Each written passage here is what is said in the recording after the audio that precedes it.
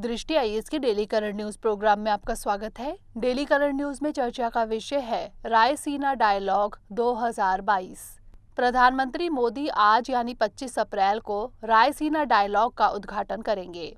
यह इस संवाद का सातवां संस्करण है। इस संवाद का आयोजन 25 से 27 अप्रैल 2022 में प्रत्यक्ष प्रारूप यानी इन पर्सन फॉर्मेट में किया जाएगा। रायसीना डायलॉग 2022 का विषय टेरानोवा इम्पेशेंट इम्पेशेंट इम्पेरिल्ड रखा गया है। यूरोपीय आयोग यानी यूरोपियन कमीशन की अध्यक्ष उर्सुला वॉन डेर लेयन इसकी मुख्य अतिथि होंगी। इसे छह विषयगत स्तंभों के साथ तैयार किया जाएगा।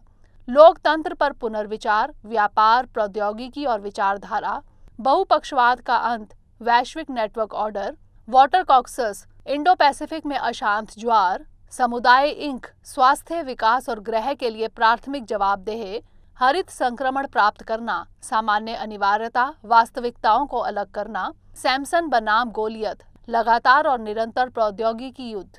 इस बार के संस्करण में 90 से ज़्यादा देशों और बहुपक्षीय संगठनों के 210 से अधिक वक्ताओं के साथ 100 से अधिक सत्र होंगे। गौरतलब है कि इस साल Raisina dialogue, side events, Berlin और वॉशिंगटन डीसी में आयोजित किए जाएँगे।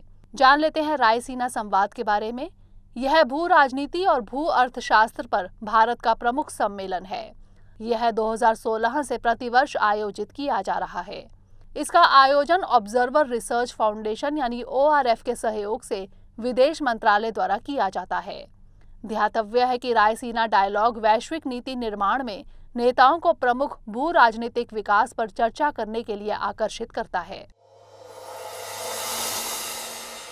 प्रिय व्यूवर्स इसी टॉपिक को इंग्लिश में देखने के लिए देखिए, दृष्टि आई इंग्लिश यूट्यूब चैनल